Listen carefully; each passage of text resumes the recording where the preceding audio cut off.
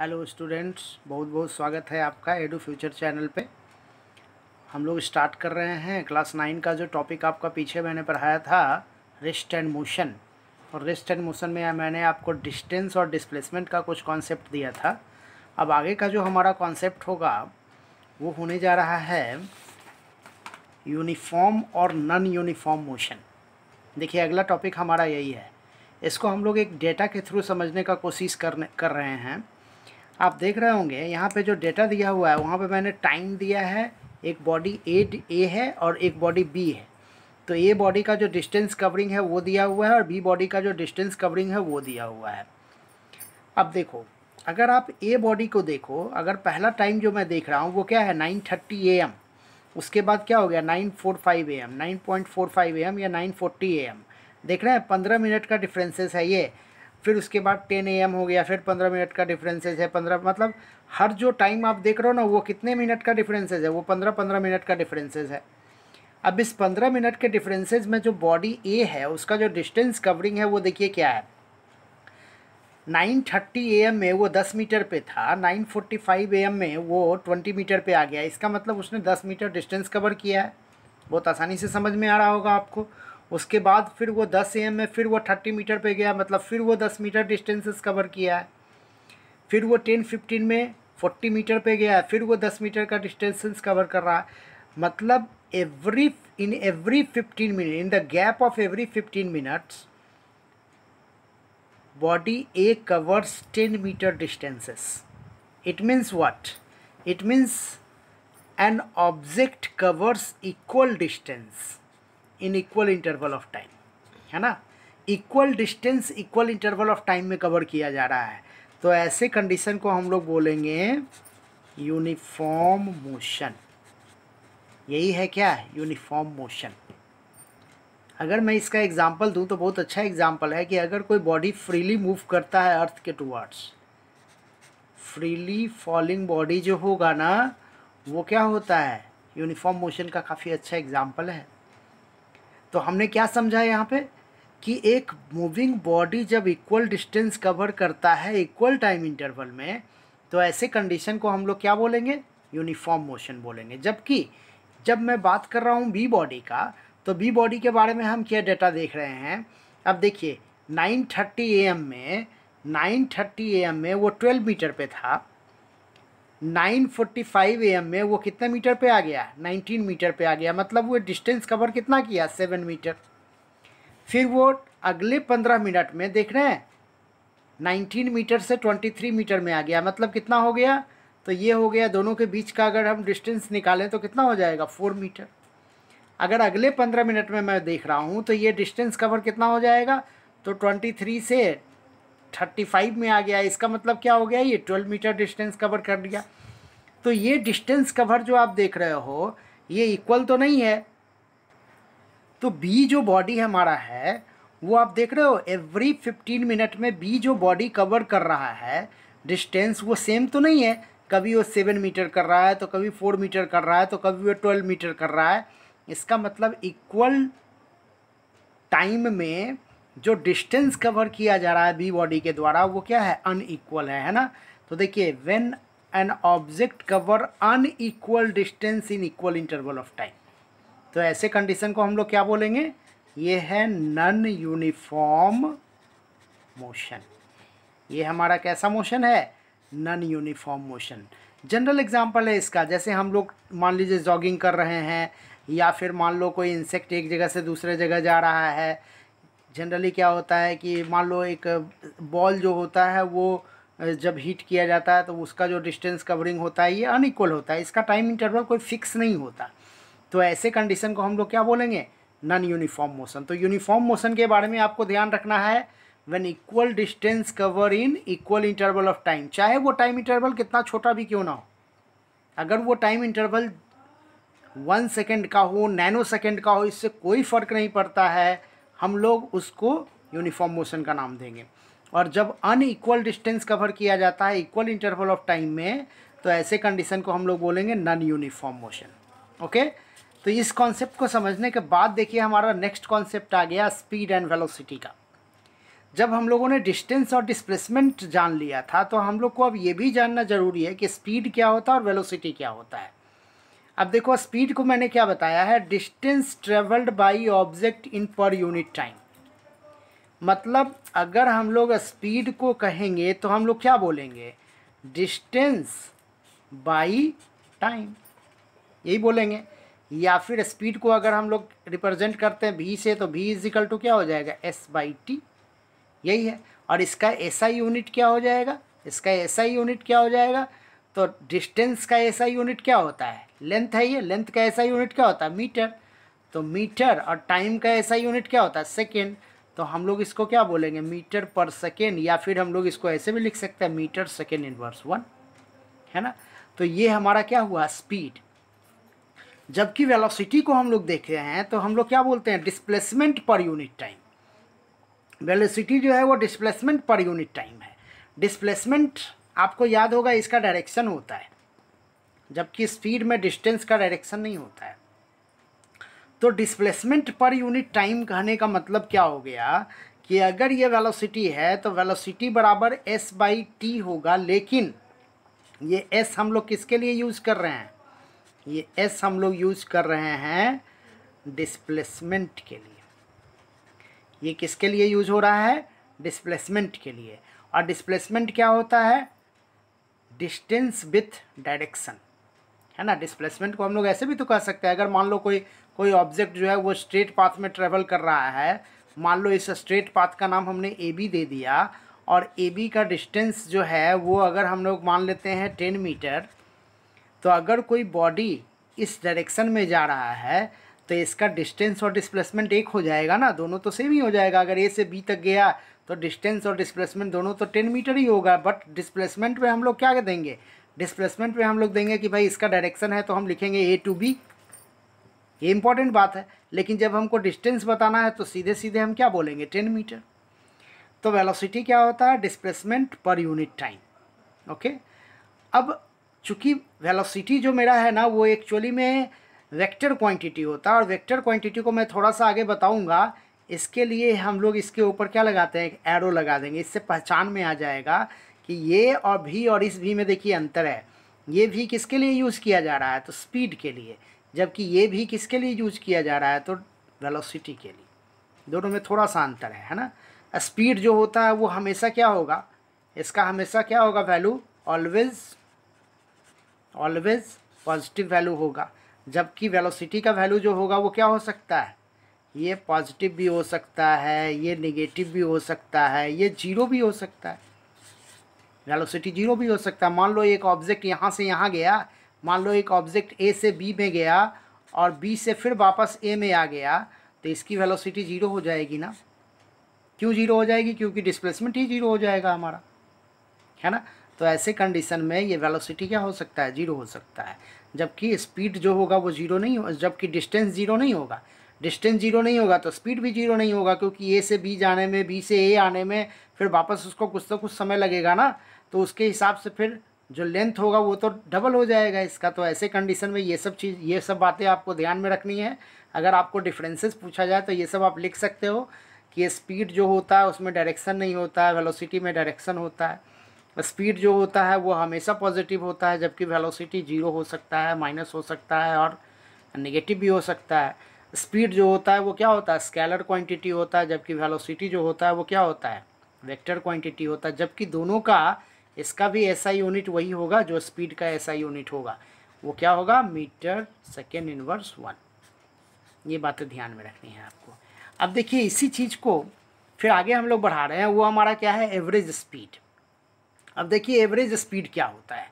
देखो, क्या कहता है? It is the total distance covered by an object in total interval of time या total time taken average speed जो होता है वी ए बी इसको रिप्रेजेंट किया गया है मतलब total distance travel by total time taken इसको देखिए, हम नीचे एक न्यूमेरिकल के थ्रू समझाने की कोशिश कर रहे हैं आपको। क्या लिखा हुआ है?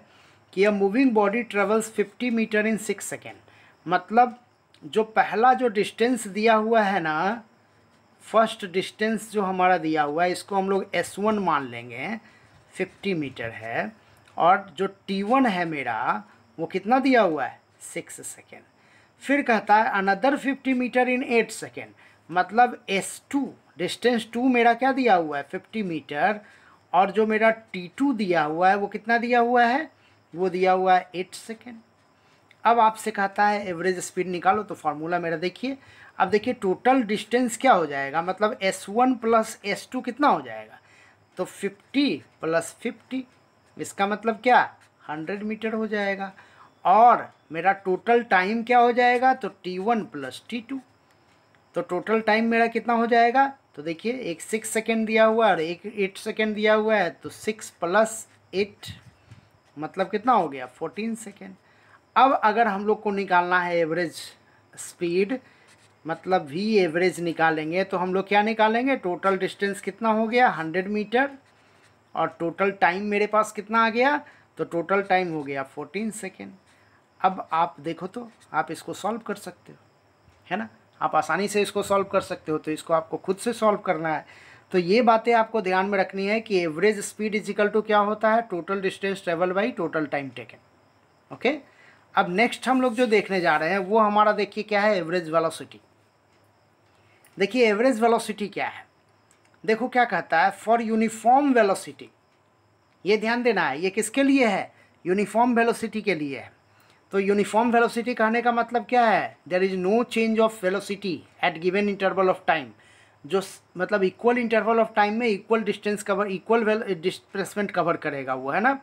तो uniform velocity it is calculated arithmetic mean of initial and final velocity ये वेलोसिटी यूनिफॉर्म होना चाहिए। अगर ये चेंज करेगा तो ये फार्मूला आपका काम नहीं करेगा, है ना?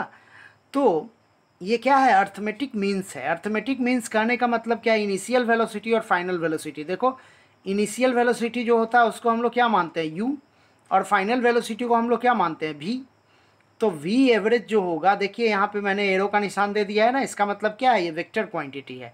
तो वी एवरेज अगर अर्थमेटिक मीन निकालते हैं तो क्या होगा? U plus V by two यही है मेरा अर्थमेटिक मीन अब देखिए, नीचे एक नोमेरिकल मैंने दे दिया है इसको समझाने के लिए। देखिए, क्या कहता है? The odometer of a car reads thousand kilometre at start मतलब उसका जो इनिशियल रीडिंग था वो कितना था? Thousand kilometre of a trip वो कितना कवर किया? एटीन हंड्रेड किलोमीटर मतलब कि इनिशियल फाइनल ये मेरा क्या हो गया? फाइनल तो फाइनल कह सकते हैं या फिर हम कह सकते हैं टोटल डिस्टेंस अगर हम लोग निकालें टोटल डिस्टेंस निकालें तो क्या हो जाएगा? पहला जो उसका था वो कितना था? ओडोमीटर में वो अच्छा ओडोमीटर क्या होता है? ये बड़ा इंपॉर्टेंट क्वेश्चन है। ओडोमीटर जो होता है ना, वो आपका डिस्टेंस कवर बताता है। देखिएगा, कार में या फिर गाड़ी में जो एक इस टाइप का ऐसा कुछ बना हुआ रहता है ना, जिसमें बहुत सारे नंबर होते हैं और उस नंबर को देख करके आपको पता लगाते हो कि ये कार या ये जो व्हीकल है वो कितना डिस्टेंस कवर कर चुकी है। है ना? ये चीज़ आप पता लगाते हो। तो उसी डिस्टेंस को मेज़र करने वाला जो इंस्ट्रूमेंट होता है, उसी को बोलते हैं ओडोमीटर तो टोटल डिस्टेंस मेरा कितना हो गया? तो कितना हो गया? एटीन हंड्रेड और माइनस क्या? थाउज़ेंड इसका मतलब कितना हो गया? एट हंड्रेड किलोमीटर और टाइम मेरा कितना लगा है? फोर आवर तो अगर हम लोग इसका निकालते हैं एवरेज स्पीड देखिए यहाँ पे एवरेज स्पीड निकालना है तो वी ए बी बराबर क्या हो जाएगा? टोटल टोटल डिस्टेंस कितना हो गया? Eight eight thousand eight sorry eight hundred kilometre है। एट हंड्रेड किलोमीटर और मेरा टाइम कितना लगा? फोर आवर तो हम निकाल सकते हैं ना इसको। इसको आपको खुद कैलकुलेट करना है है ना? इसको आपको खुद से ही कैलकुलेट करना है और इवन आप इसको मीटर पर सेकेंड में भी कन्वर्ट कर सकते हो, है ना? मीटर पर सेकेंड में कन्वर्ट करने के लिए आपको किलोमीटर को मीटर में बदल दीजिएगा और फोर आवर को सेकेंड में बदल देंगे। किलोमीटर में को जब आप मीटर में बदलोगे तो क्या हो जाएगा? इसको आप वन थाउज़ेंड से गुना कर लोगे और इसको आप सिक्सटी से इंटू सिक्सटी कर लीजिएगा तो इससे क्या हो जाएगा? सेकेंड में कन्वर्ट कर जाएगा ये। और इस तरह से आप इसको कन्वर्ट करके मीटर पर सेकेंड में भी आंसर निकाल सकते हो। तो ये आपका होमवर्क ही है है ना? आपको खुद से इसको कैलकुलेट करना है। नेक्स्ट हम लोग देखने जा रहे हैं, वो हमारा क्या है? स्केलर एंड वेक्टर क्वांटिटी लेकिन इसके पहले मैं एक और नोमेरिकल आपको बताना चाहूँगा। तो मैं आपको एक नोमेरिकल बता दूँ, उससे रिलेटेड एवरेज वेलोसिटी से रिलेटेड और एवरेज स्पीड से रिलेटेड जिससे आपको आसानी से ये और ज़्यादा क्लियर हो जाएगा कि वेलोसिटी और स्पीड में क्या आपको अंतर है, ये पता चल जाएगा। आप देखिए, कहता है, Poonam swims eighty eighty metre long pools मान लो एक पूल है, एक पुल है और एक पुल का जो लेंथ है ना वो है 80 मीटर। मान लो ये पुल का मैंने नाम दे दिया ए बी, और इसका लेंथ कितना है भाई? इसका लेंथ है 80 मीटर। इस स्विमिंग पूल का लेंथ कितना है? 80 मीटर। अब 80 मीटर के लेंथ जो है, उसमें कितना टाइम लगा उसको? One minute. By swimming from one to another end. मतलब यहाँ से यहाँ जाने में उसको कितना लगता है? One minute. वन मिनट का टाइम लगता है। And back along the same straight path और वो बैक जो होती है, उसमें भी उसको वन मिनट ही समय लग रहा है। है ना? वापस आने में भी उसको वन मिनट का ही समय लग रहा है। Find the average speed and average velocity अब देखो एवरेज स्पीड बराबर क्या होता है?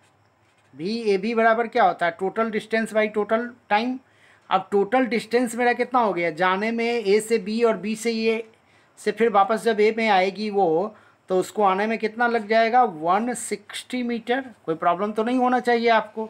और टोटल जो टाइम लगा वो कितना लग गया? एक मिनट और एक मिनट अगर हम इसको सेकेंड में कन्वर्ट कर लेते हैं तो मेरा कितना हो जाएगा? 60 प्लस 60 ओके ये हो गया मेरा सेकेंड मतलब 160 मीटर बाई 120 सेकेंड। अब आप इसको कैलकुलेट कर लोगे, आपको पता चल जाएगा। तो मैं आपको बता रहा था कि 120 सेकेंड, ज़रा सा एक चीज़ और हम, एक चीज़ और ध्यान देना है ज़रा सा। क्या कहता है? 80 metre long pool, she covers 160 metre in one minute. Sorry, ये गलती हो गई है यहाँ पे। एक्चुअली में वन मिनट में ही ये डिस्टेंसेस पूरा कवर किया जा रहा है। मतलब कि आने में और जाने में, दोनों जो टाइम उसका दिया हुआ है ना, वो वन मिनट दिया हुआ है। तो यहाँ पे सिर्फ़ सिक्सटी सेकेंड हो जाएगा, ओके? ये हो जाएगा सिक्सटी सेकेंड।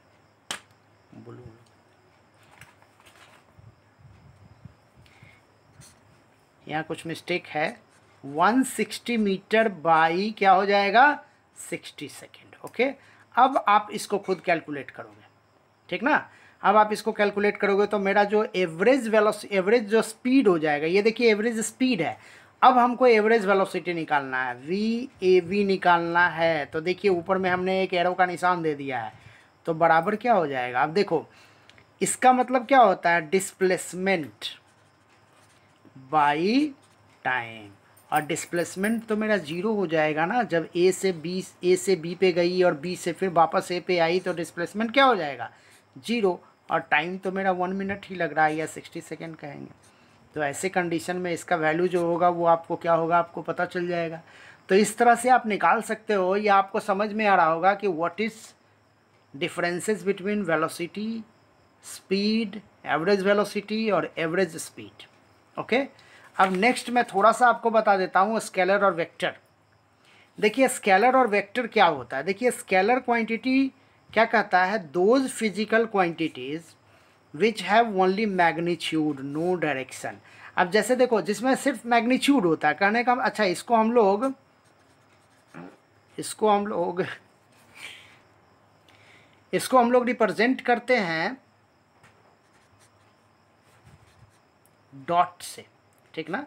इसको हम लोग डॉट से रिप्रेजेंट करते हैं। ये ध्यान दीजिएगा स्केलर क्वांटिटी जो होता है ना, उसको डॉट से रिप्रेजेंट किया जाता है। अब जैसे देखो, यहाँ पे एग्जांपल दिया हुआ मास अब आप जो मास देते हो, जैसे मान लो मैं लिखता हूँ वन के जी अब वन के जी लिखा तो इसमें वन जो है वो क्या है? मैग्नीट्यूड है, और के जी उसका क्या है? फ़िज़िकल क्वांटिटी का जो यूनिट है वो है। अब वन के जी जब हमने लिखा इसका मतलब इसमें डायरेक्शन तो नहीं लिखा। उसी तरह जब आप लेंथ देते हो, जैसे डिस्टेंस कवर जैसे जैसे आप डिस्टेंस डिस्टेंस जो बताते हो तो डिस्टेंस में उसका क्या, आप उसका कोई डायरेक्शन तो नहीं होता है। डिस्टेंस का तो डायरेक्शन नहीं होता है। टाइम का कोई डायरेक्शन नहीं होता है। जैसे मान लो हमने लिखा फाइव सेकेंड तो five second north five second south ऐसा तो हम लोग नहीं बोलते। उसी तरह से आप देखिए वॉल्यूम इसका भी कोई ये डायरेक्शन नहीं होता। डेंसिटी कोई डायरेक्शन नहीं होता। टेम्परेचर जब आप केल्विन में मापते हो, डिग्री सेल्सियस जो भी मापते हो आप तो उसका डायरेक्शन तो नहीं होता। तो स्केलर क्वांटिटी वैसा फ़िज़िकल क्वांटिटी होता है जिसका कोई डायरेक्शन नहीं होता, सिर्फ़ और सिर्फ़ मैग्नीट्यूड होता है।